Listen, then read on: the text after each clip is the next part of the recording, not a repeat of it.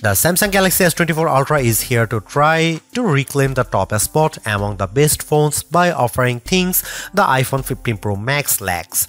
This includes a ton of Galaxy AI features that can do everything from auto-summarizing your notes and moving subjects around in your photos to translating phone conversations in real time.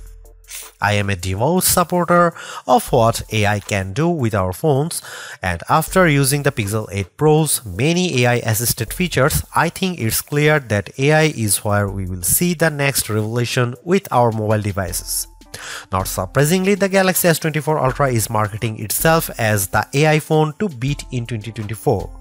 From its intuitive circle to search feature that can reveal what weed is growing in my backyard to chat assist which automatically picks a better tone for my messages, these Galaxy AI features aim to simplify my life.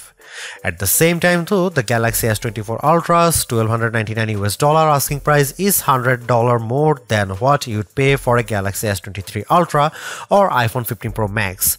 This also comes with the most controversial change to Samsung phone, teaching the 10x optical camera of its predecessor with a less powerful but sharper 50 megapixel 5x telephoto lens.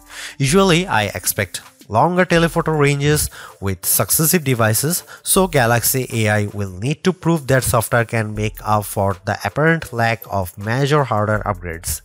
In my Galaxy S24 Ultra review, I will dial into the practicality of the phone's new Galaxy AI feature, assesses how its new cameras compare against its predecessor and rivals, find out how long its battery lasts, and ultimately determine if it's worth the money. Pre-orders for the Samsung Galaxy S24 Ultra are available right now with its general release date set for January 31.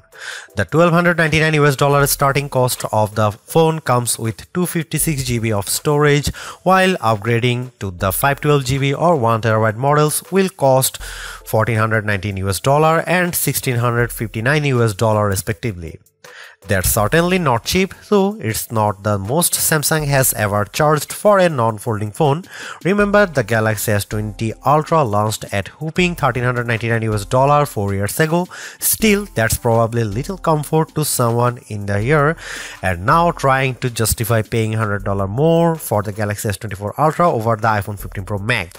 Samsung Galaxy S24 pre-order deals take some of the sting out of the Ultra's price with Samsung offering an upgrade to the next tier of storages at no extra cost. You can also get credit from the Samsung by trading in your current device for a lower price on the S24 Ultra. Look quick and you might not notice the design changes Samsung made to the Galaxy S24 Ultra. Most notably, the new model ditches its predecessor's armor aluminum frame for titanium one, which bolsters durability and in this case leads to a lighter package as well. On paper, the Galaxy S24 Ultra's 8.22 ounce weight doesn't seem like a tremendous difference over the S23 Ultra's 8.25 ounce weight, but the phone just feels less dense this time. Another change pertains to the end of an era for the series, its curved screen. I am on the fence about this change because the curved screen of past Ultras gave the phone this sleek looking aesthetic. Instead, the S24 Ultra adopts a flat display that hugs the edge of the titanium frame. Samsung's reasoning for this change pertains to the S Pen, the flatter panel makes it less likely for the stylus to fall over the edge. But then again, I end up using a case with my older Carvia Galaxy S Ultra that prevents this such thing from happening. The last and subtle change involves 42% slimmer bezels according to Samsung's math. I only see it with the bottom portion at the display since the rest of the bezels appear very similar to the Galaxy S23 Ultra. One of the disappointments that will probably go under the radar is how there is no significant change to the S Pen. I was really hoping for Samsung to add something new to the fold here, seeing that the S Pen is one of the features that makes the Ultra distinctively different from everything else. Overall, I don't love or hate the design, but at least there are far more color options to choose from versus other phones, like the titanium violet version of my review unit. On top of that, there are several cases at launch that sprinkle more utility to the phone like the preview window of the S View wallet case.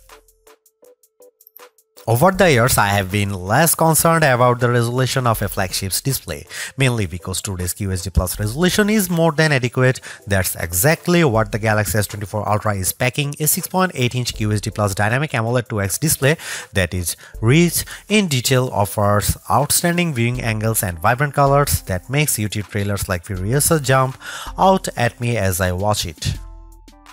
But of course, all that wouldn't mean much if the new doesn't beat its predecessor in the brightness department.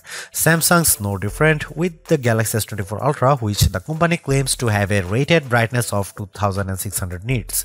I am never one to believe the hype because these ratings often don't reflect their true to life behavior, which is why I place more emphasis on our actual testing. This is where it gets interesting because the Galaxy S23 Ultra reached a peak brightness output of 1225 nits. In our display benchmark testing, it's an improvement to 1353 nits with the Galaxy S24 Ultra in our testing when displaying HDR content. That's fantastic and I didn't have any issue watching YouTube clips or playing my mobile games outside with direct sunlight beating down on me. Samsung kept the S24 Ultra's display refresh rate to 1 to 120Hz, which is what I expect from a flagship today. Still, Samsung missed an opportunity to increase that refresh rate to perhaps 144Hz to further differentiate itself. I am well aware of Samsung's history of throwing novel features into its phones. Remember the eye scrolling feature of the Galaxy S4? I wouldn't think so, which proves my point that sometimes hyped features don't turn out memorable. There's very little doubt of AI permeating into everything in our lives, our phone included, which is why Samsung's taking a proactive approach in giving its users access to new capabilities with Galaxy AI. Strangely enough, many of these AI-assisted features are in collaboration with Google, which raises the question of who's really making the innovations here. There is also a possibility that these AI features could change with Samsung's website disclaimer saying Galaxy AI features will be provided for free until the end of 2025 on supported Samsung Galaxy devices. Different terms may apply for AI features provided by third parties. I have been able to test out all of the included Galaxy AI features on the Galaxy S24 Ultra and here's what I think. Circle to search. Much like everyone, I find it annoying having to switch between Chrome and say Instagram when I am trying to look up a type of cat from one of many cat Instagram accounts I follow. Circle to search eliminates the need to do this because a long press of the home button initiates the feature and I proceed to circle the object or subject with my finger. Then the corresponding search results page will pop up as an overlay. The best part? I never have to leave the app I am using to search, plus it works in every app. For example, I saw a photo posted by a friend on Instagram of a card that I didn't recognize. With Circle to Search, with the Galaxy S24 Ultra, I am able to select while still being in the app and that it shows me search results on what it could be. In another example, I took a photo of this statue of Bryant Park and Circle to Search is able to not only tell me what it is, but also its location with Google Maps details. Without question, the biggest controversy circling the Galaxy S24 Ultra centers around Samsung's decision to ditch the 10x optical zoom camera of the S23 Ultra for a 5x optical one. That one key spec will cause people to think the new camera setup is technically inferior, but bear in mind that Samsung trades in the optical range for a higher resolution sensor, a 50 megapixel sensor instead of a 10 megapixel one to be specific. The Galaxy S24 Ultra remains a formidable camera phone consisting of a main 200 megapixel camera boosting 60% larger pixels, a 12 megapixel ultra wide camera, a 10 megapixel telephoto lens with a 3x optical zoom, and that new 50 megapixel telephoto camera with a 5x optical zoom we mentioned above. That camera can still offer 10x zooms by taking a picture and then zooming in as the resolution drops to 12 megapixel. Samsung says that this approach on the S24 Ultra can deliver the same optical quality performance as its predecessor, which doesn't surprise me. We have seen this executed on other phones with excellent zooming results like iPhone 15's 2x telephoto zoom. Before I detail the new telephoto camera and whether Samsung made the wrong decision, I will explain how this phone other cameras perform under different situations along with side-by-side -side comparisons against the S23 Ultra and iPhone 15 Pro Max.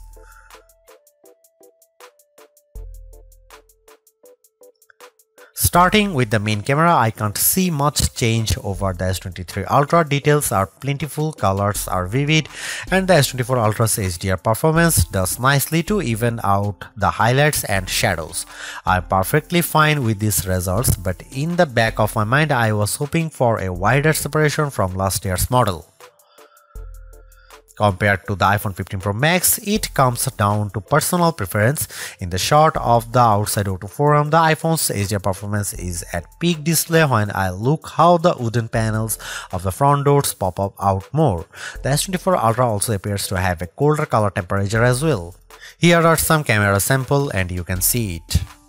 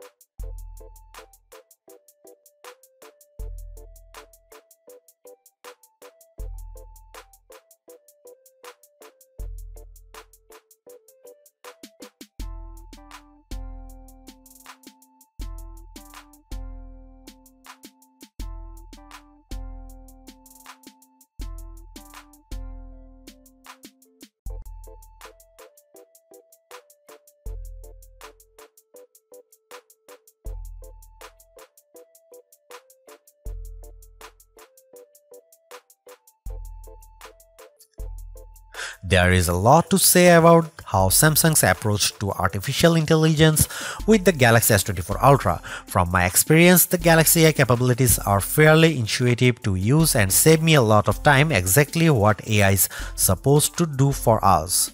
Features such as circle to search, generative edit, instant slow-mo and note assist all feel polished while others such as live translate could benefit from more machine learning. Regardless, the Galaxy S24 Ultra proves that AI is here for the long haul. Yet I am a little disappointed that the Galaxy S24 Ultra camera performance doesn't have the same dramatic improvement I have seen from past updates. Samsung's choice to drop the 10x optical camera for a 5x one is the most glaring and controversial change, a downgrade I hope doesn't happen ever again. But despite this, the S24 Ultra has marked improvements to its processing power and battery life, two key areas I look at with any phone.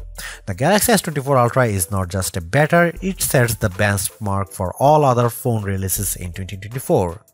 Knowing that the increase in price to 1299 US dollar does complicate matters a bit, given that I feel the majority of its AI features are practical, combined with its performance and battery gains, it's still worth getting the Galaxy S24 Ultra if you are in the market for a super phone or upgrading from a handset that's a few years older.